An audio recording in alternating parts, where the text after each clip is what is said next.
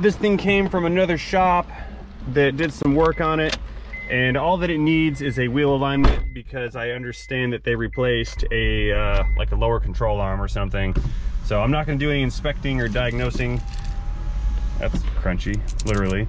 I'm not gonna do any, any inspecting or diagnosing. I'm just gonna throw this mofo on the alignment rack, get the heads on it, and, uh, and geometrically align the suspension components.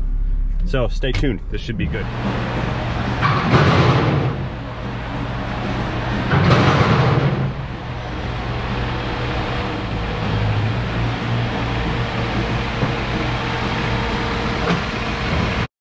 I'm gonna do a real quick damage walkthrough for my protection of all the all the somewhat broken stuff that I see here. There's some, there's some more. There's some. There's some. Okay. Okay, begin and this is a Honda CRV, not CRZ. Let's go. And it's an 08 model, front wheel drive, and it's gonna prompt me to mount the sensors. There we go. This rack is a four post rack, one in each corner. It's calibrated to be level when it's set down on the locks. So I'm going to raise this up to a comfortable working height and then set it down on the locks. That way the vehicle is on a known flat and level surface. This is critical for doing a suspension alignment. Okay, and down. Right, both ramps should be flat and level on both sides. Now let's install the reflective head. The way this works is there are a series of lasers and cameras up top here. It shines the beam at these reflectors and then the beam reflects back to the cameras and that is how it measures the direction that the wheels are pointing.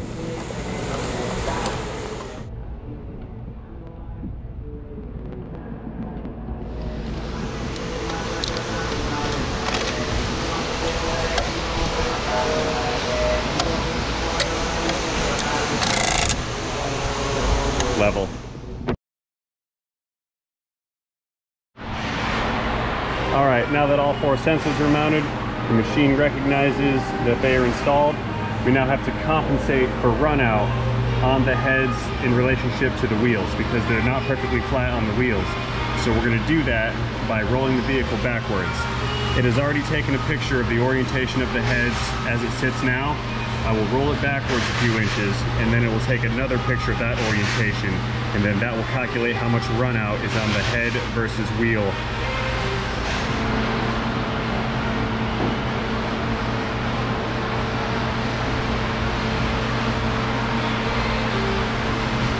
See turned green?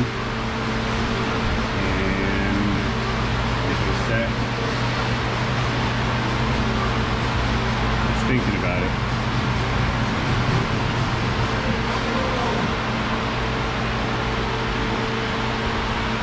I moved it back a little bit further. Okay, took its second picture, so now I'm gonna roll it back forward to the beginning point. It'll take one more snapshot, and that's gonna be the measurements that it needs to calculate the head versus wheel run out.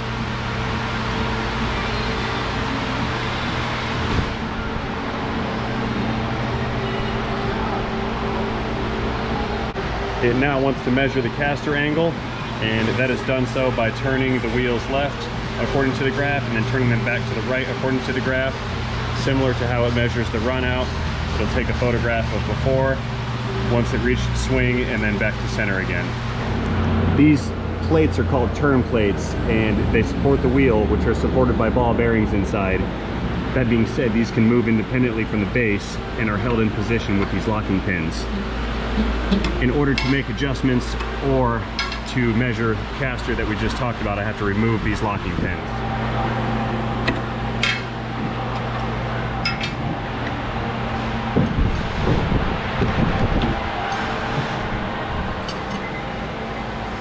The wheels cannot be allowed to rotate at any point during this procedure. So I'm going to install this brake pedal depressor to keep braking pressure on the calipers, preventing the wheels from, from rotating. So I'll set that up, give it a push, tighten it. All right, we're good here. Now I can throw this in park, and I always like to depress the parking brake. We'll start the engine, and we will look outside and use power steering to make the, uh, the turn for the adjustments. And I'm sorry if there's wind noise from this fan up here. All right, we're going back to the right now, past the center line. There's green. Okay, took its picture. And we're moving back to center line now. Too far, too far twice. There we go. Okay, we've got our measurements. Now, back in the car, I'm going to visually orient the steering wheel so that it is centered. And I do that by backing far away, finding a plane to compare to, and I will just manually eyeball how level this is. Once I feel it's level, I'll give it a shake to work out any play that may be in the, uh, in the steering shaft or in the suspension. Everything seems to be settled. And now we can go ahead and begin the procedure. Okay, over here we're looking at a numeric display of the alignment measurements. The far left column identifies which measurements are being displayed, and that is divided into front and rear wheels. The far right columns that contain the green and red bars indicate in degrees the measurements of each individual wheel. The green highlighted measurements show that that measurement is within specifications and the red highlighted measurements show that that measurement is out of specification. What we see in this readout is that the right rear toe and both front toe measurements are out of specification. Toe is the left and right orientation of the wheel in relation to the vehicle's center line.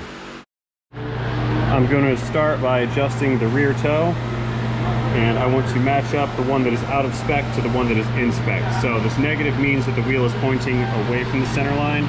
Positive means it's pointing towards the center line. So I'm gonna go adjust the right rear and bring that in to the left so it matches the six on this side. And then both wheels will be even with each other.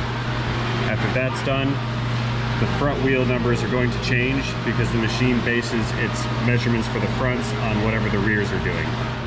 Okay, we're under the vehicle now at the right rear. The provision for the adjustment is this right here. There's a locking nut on this, uh, on this bolt, and then there's an adjustment cam here.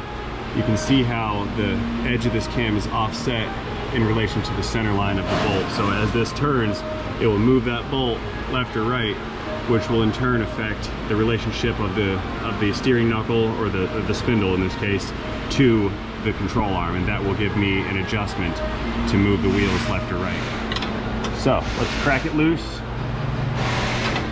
It does not need to be removed and shouldn't be removed. But we'll break it loose. And I want some positive toe out of this, so I want this knuckle to go that way. So I will move this cam in this direction, forcing the wheel outward. Okay, I just took a glance at the numbers and I'm at positive 17, so I actually went too far. I'm gonna back it back off. Okay, it's negative one, too far again. These measurements are very finicky and fine.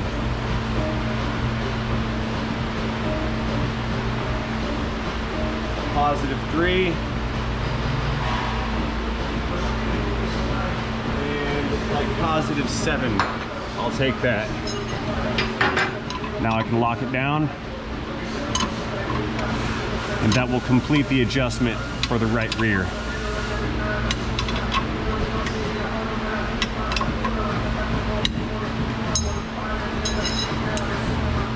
All right, let's go up front, take a look at the computer, and take a look at the, uh, the front toe. Okay, we see here that there has been some slight adjustment from the original set of numbers. Rear toe that we just adjusted, that's at six and seven. That is nearly as perfect as it can get. So next I'm going to adjust the front toe and I always like to start with the number that's farthest out of whack. So that's going to be this 78 right here. Also, I got ahead of myself. I did not show what the specified numbers are supposed to be. So that's to be found here in vehicle specifications. And it looks like total toe for the rear, it wants 16. So that's roughly eight and eight on each side. We're within spec there. And the total toe for the front is going to be zero. So it wants them truly parallel to each other. So we're going to bring this to zero or close to it, and we're going to bring this to zero or close to it. Uh, a rule of thumb that I have is I never let front toe or rear toe go with a negative number. I always like to keep it slightly positive if, if possible. And I do that because a positive toe towed in towards the center line will provide a more stable ride than a negative toe. A negative toe will tend to want to be aggressive with its steering, and a positive toe will want to be stable with its steering, especially when recovering from a turn. All right, back down below again on the driver's side. We're gonna make our adjustments at the tie rod. I'm gonna break loose this jam nut here and rotate the inner tie rod, and that is going to thread in or out in this case, I'm gonna be threading it out because I wanna bring the tire pointed towards the center line in the front. And once that's completed, I'll lock down the jam nut again and that will complete the adjustment for this wheel. Then I can move on to the passenger side.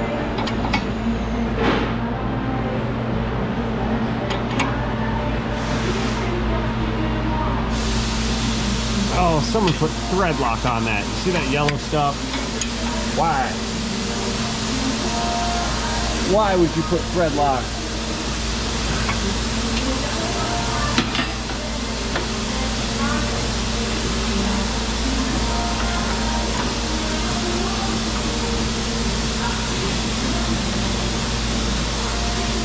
As I'm making this adjustment, I'm actually watching the screen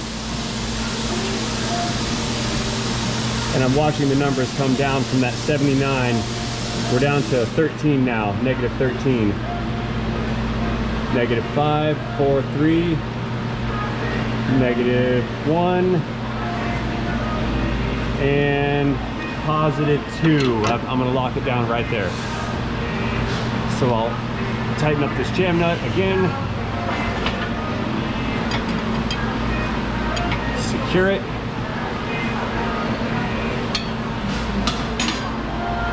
Okay, so the, the toe moved up to positive 0.03 right here that's okay. That's uh, that's still well within specifications.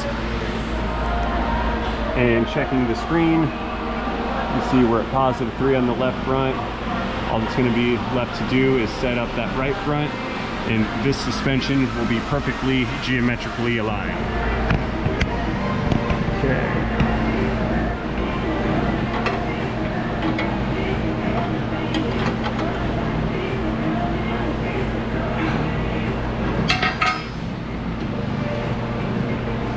Okay, we're starting off at positive 32. So we want to bring this negative. He feels it. All right, we're down to positive 10.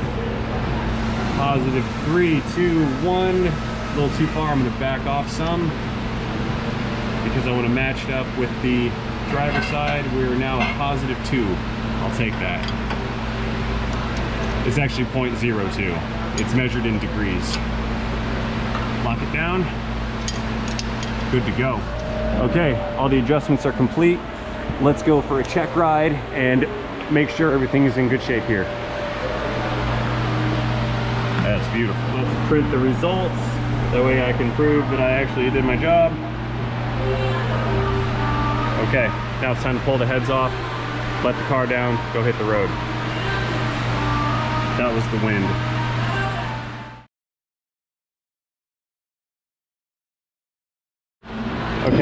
To raise this up off of the locks, release the locks, and then let it down. All one-handed, because skills.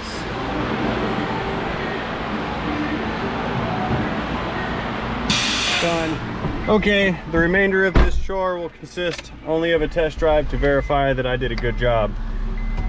And the way I will do that is take it out on the road, get it on a flat, level road, center the steering wheel, and we're looking for the thing to not track left or right, and we're also looking for a straight steering wheel while going straight. So none of this, none of this, none of even that, none of that is acceptable. It must be almost perfectly straight, at least by my standards. Blowing horn for safety while backing out. Okay, rolling through the parking lot, straight level wheel, and we are going straight. And I better turn because there's a tree. Do uh, do the wheel test again right here, straight and level wheel, going straight. Dumpster.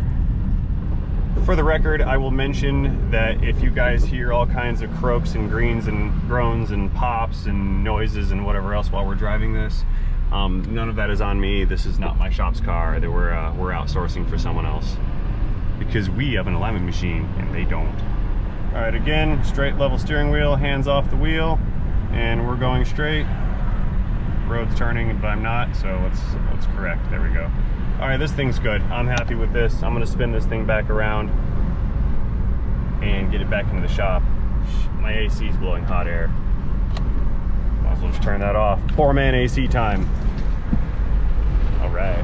Man, this thing shakes like super bad at speeds above 45 or 50. It's I feel it in the floor and the pedal, the steering wheel, the whole thing's super, super shaky. I hope they didn't want a wheel alignment to resolve the shakiness.